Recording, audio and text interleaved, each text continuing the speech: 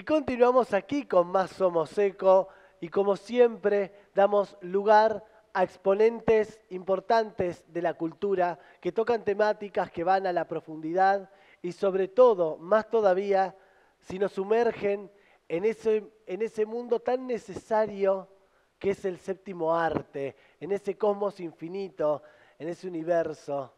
Hoy vamos a hablar con un director muy prolífico y que se toma verdaderamente en serio al cine a la hora de trabajarlo de una forma minuciosa, meticulosa y yo diría hasta desde lo sentimental en carne viva. Hace muy poco tiempo se estrenó la película Cuando ya no esté, protagonizada por Gustavo Garzón, por Noemí Frenkel y vamos a hablar hoy con su director que es Martín Viaggio.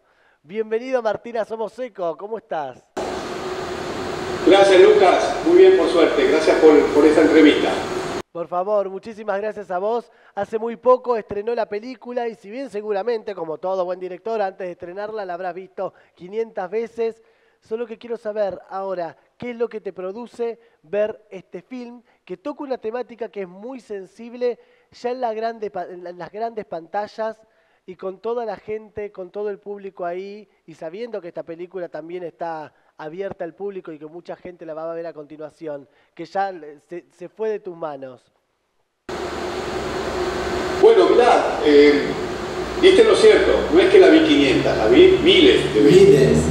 Hay, una cosa condenatoria para nosotros que hacemos cine muy artesanal, que estamos desde el minuto uno hasta, hasta ir a imprimir los pósters para llevar a los cines, todos esa, el cine independiente es así en donde vas perdiendo la frescura de ver tu propio material. Llega un momento que no sabes si es bueno o no es bueno.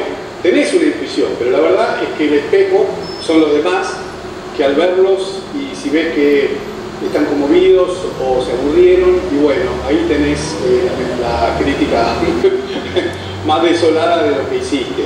La verdad es que en esta película la experiencia es muy buena porque al ser una película tan simple en su historia, tan a, propósito, tan contenida, de no irse a ninguna cosa que no fuese lo cotidiano, que es un gran esfuerzo al momento de filmar una película donde uno quiere eh, eh, ponerle cosas más artificiales, quiere cancherear un poco, por decirte entre comillas, ¿no? Acá no, teníamos un ejercicio de austeridad completa, tanto los actores como yo como director, como los técnicos, la dirección de arte, vestuario, todo tenía que ser como, como muy sujeto a lo cotidiano, si bien la película tiene algunos toques que son un poco mágicos y eso, eh, es una historia que podría ocurrirle a cualquiera, entonces eh, creo que ahí está un poco el acierto de llegar al público. El, público siente que es una historia que, que se puede reconocer, sino a sí mismo, a un pariente, a un padre, a una madre, depende de la generación que sea que está sentado en una butaca. ¿sí? Así es. Entonces, ah, sí, contame. Justamente te quería preguntar acerca de esto, de la historia, qué es lo que te moviliza a vos en esta película, si bien has tocado muchísimas temáticas que tienen que ver eh, con el amor, como eh, Amando a Carolina, por ejemplo, con Guillermo Fenning y que era el elenco también, ¿por qué ahora el, foco está puesto en la muerte? Eh, em, yo me siento más cómodo en historias amorosas. Si yo, si yo me voy a sentar ahora a escribir un guion, imaginar una historia, es una historia amorosa. Porque te quiero decir que, que, que alguien que te gusta no guste de vos es como una tragedia inconmensurable. O sea, eh, más no te puede doler. ¿sí? Entonces, sacando un tema tan trágico como irte de este mundo, creo que las historias amorosas es donde más eh, nos regodeamos porque no comprendemos bien el amor, el deseo, cómo funciona. Y bueno, yo me meto en esos temas un poco que a veces interesan, a veces no. Pero a mí sí, yo son las películas que más, disfruto ver. En términos personales, esta, esta película nació de, una historia que me contó un amigo con el disparador de esta persona que estaba enferma. La verdad que el tema de la muerte es un tema muy denso eh, y, y, no es que lo quise tocar específicamente de la muerte. La verdad que la película trata más sobre cuando estás vivo y de cómo haces para aprovechar la vida mientras estás vivo. ¿Qué pasa más allá? No tengo la menor idea. No es una película que plantee temas filosóficos, metafísicos, sino algo concreto. Tenés un problema, tenés una crisis y, como se dice, una crisis una oportunidad, ¿la vas a tomar o no? porque la verdad es que en, esos años que le tocó vivir al personaje, que son más de 60, y un par de cosas mal hechas hizo. Entonces, eh, él tiene como esta posibilidad de redención y de mejorar aspectos de su vida, centrado básicamente en los vínculos amorosos y familiares. Y creo que ahí está el encanto, en donde ver un tipo que puede ser cualquiera de nosotros, que nos pasamos haciendo cagadas todo el tiempo, en definitiva tenemos eh, una chance de vivir mejor si nos reconectamos con los demás de manera más sana y natural. De eso trata la película. La verdad que lo que compone Gustavo Garzón en ese personaje principal, él es un primerísimo actor, sin embargo también como primer actor los desafíos que le llegan son grandes. A la hora de dirigir, quiero preguntarte, Martín, yo pienso, por ejemplo, Leonardo Fabio le decía a los actores, vos no interpretes al personaje, vos interpretame a mí, lo que yo te quiero decir. ¿Vos sos de darle más eh, libertad a los actores o sos de exigirles que se atengan sí o sí al guion o a todos los detalles que vos les? Mirá, eh, todo parte de la buena elección del actor. Si vos te equivocaste eligiendo al actor, eh, está frito, porque no la vas a arreglar en ningún momento del rodaje. Ese es un momento muy crítico. Primero que a veces no te conoces con los actores, por lo tanto puedes tener sorpresas agradables o desagradables, llevarte bien o no tanto.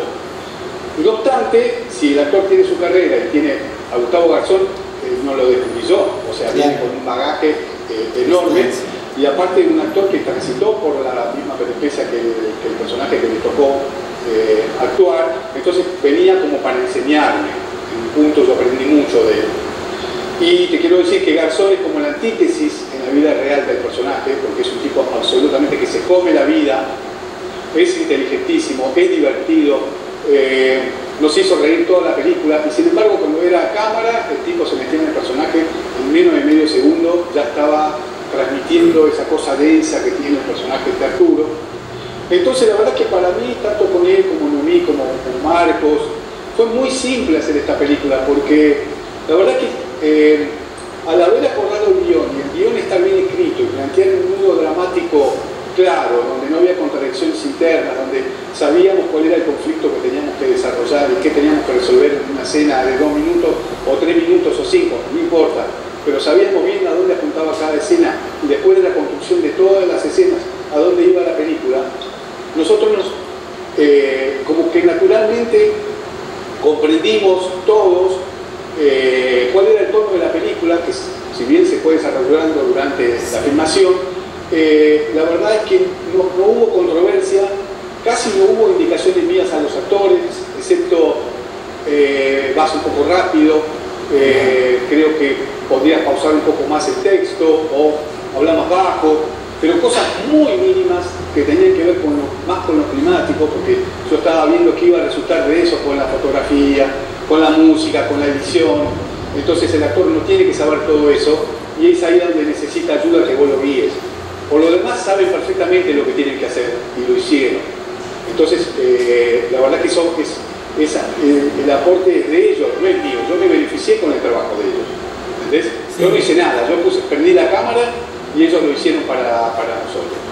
Ahora, si hay algo que yo quiero destacar de la película, entre muchísimas virtudes que tiene el film, es el buen uso y el buen manejo del silencio, que es una herramienta que es arma de doble filo, porque en muchas películas había mucho silencio y genera vacío, se vuelve cansino, pero acá está muy bien utilizado. No creo que sea algo que esté librado al azar. No, no, no, no, no es, no es azar porque eh, en principio el cine es imagen, sonido, y nosotros eh, construimos el guion porque con la historia original vos tenés la evolución de los actores, de la dirección de arte, del director de fotografía, que es como el núcleo de una película, ¿sí? Entonces, ¿qué era? Todo lo que se pueda narrar sin textos y palabras lo narramos con imagen. ¿Sí? Entonces, si él va caminando y mientras va caminando en el, guion original, se detenía y le decía a la mujer, oh amor, me siento mal, pero yo estoy viendo que se siente mal, ¿para qué le hago decir eso? Es mucho más potente el silencio, para este tipo de películas, para una comedia no, tiene otros recursos narrativos. Entonces, eh, vos viste que todas las secuencias finales, prácticamente los últimos 10 minutos son de cine puro, ¿sí? Y es una búsqueda. puede ser la película terminar siendo aburridísima, pero confiábamos que no, que nos iba a dar un, buen resultado. En ese momento no lo sabés, porque vos lo único que haces es filmar planos, planos, planos, planos, ni siquiera de la misma escena ni de manera completa. Y después tenés todo ese cúmulo de material que tiene que nacer y tiene que formar una película. Y vos decir, estos personajes viven, no puede ser que no existan. Bueno, es, ese es el truco. Ese truco requiere un montón de esfuerzo y de decisiones previas, que es narrar en imagen todo lo que se puede. Y ahora, qué fue lo más insólito que te pasó a lo largo de este rodaje, de cuando ya no esté? Mira, lo más insólito y lo más eh, conmovedor, porque hay veces que la vida te, como, eh, digamos, yo no quise tener un mensaje más que, che, aprovechemos la vida mientras estamos acá, ¿sí? Es, que simple. Pero si vos estás atento a la vida, la, vida propone cosas todo el tiempo. El tema es que nosotros vemos poco lo que ocurre alrededor. ¿Sí? No vemos mucho, vemos, tenemos como un, casco puesto y solo de los estímulos que hay en la, en la realidad nos llegan muy poco. Bueno, nosotros teníamos que decidir quién era este señor Canepa, el espectador que no lo conoce es una especie de curador con una, con una experiencia muy, muy densa y muy oscura de la que logra salir y a partir de esa experiencia personal puede ayudar a los demás. Bueno, la pregunta era, ¿cómo es Canepa? Porque yo te lo pregunto a vos, vos hubieras sido el productor de la película, te digo, ¿y a quién se te ocurre que sea? Bueno, en la charla no nos salía tan fácil determinar cuál era el personaje. ¿Cómo es? es viejo, es joven, es hombre, es mujer, porque la verdad que si lo dejo a elección libre, podría haber sido una mujer también. Señora Canepa, ¿por qué no? Bueno, entonces nosotros fuimos a, teníamos un actor con el cual no sabíamos cómo lo íbamos a vestir, no sabíamos cómo era la casa, no sabíamos nada. Ese actor después lo contrataron para una obra de teatro muy importante y no pudo ser parte de la película. Pero estando en Mendoza, buscando la locación de la casa de Canepa, encontramos esa casa de la película que es la de un artesano alfarero, que es una cosa extraordinaria, porque nosotros no intervenimos en la casa, la casa del dueño de casa es así. Y de resulta que vamos a comer en un restaurante y aparece eh, Paco, que es el que hace de canepa, que era el mozo del restaurante. Y nos quedamos duros porque dijimos, este es canepa. Y terminó siendo el dueño de la casa que habíamos eh, concretado de aquí para la Entonces es maravillosa esa cosa sincrónica eh, de estar ahí atentos, esperando que la vida te dé, te dé, te dé y hay. Y bueno, tuvimos esa sorpresa que fue muy agradable porque la verdad es que él hace un rol increíble eh, y bueno, muy contentos que nos haya pasado ese golpe de suerte. Un golpe de suerte y, qué constelado que está todo también, qué, qué relacionado con cómo se van atrayendo todas esas vibraciones en torno a un proyecto. Martín, en este momento la película está proyectándose en Buenos Aires, está eh, exhibiéndose en Buenos Aires. Ahora, ¿cuándo crees que esta película podamos verla en las grandes pantallas en Rosario? ¿O en alguna plataforma también? Bueno, mira, de eso estamos, eh, digamos, eh, nosotros estamos adheridos a lo que se llama Espacio Inca, que es una red del propio Instituto de Cine que es genial porque tiene buenas salas y es baratísima la entrada, es muy popular porque, bueno, todos quieren ir al cine y una entrada de 200 pesos no es prohibitiva. Y entonces, lo primero que tienen es, como un lanzamiento en el Gomón, ¿sí? porque como el primer test, y después se abren unas 20 salas o, más, ojalá, eso, no depende de mí, depende más de la disposición de los espacios Inca, entre los cuales en Santa Fe eh, eh, están previstas varias, Rosario una de ellas, entonces, en las semanas próximas debería ir llegando la película a algunos espacios sin cara allá. ¿Sí?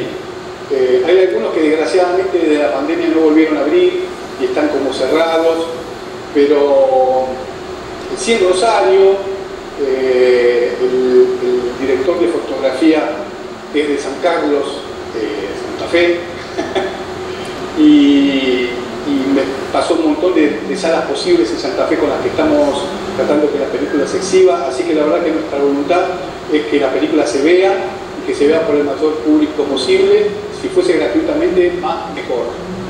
Estoy seguro que sí, seguro que muy prontamente la tendremos en el Cairo o en alguna de nuestras salas que será muy bienvenida, como lo sos también vos, Martín, cada vez que quieras visitar Rosario.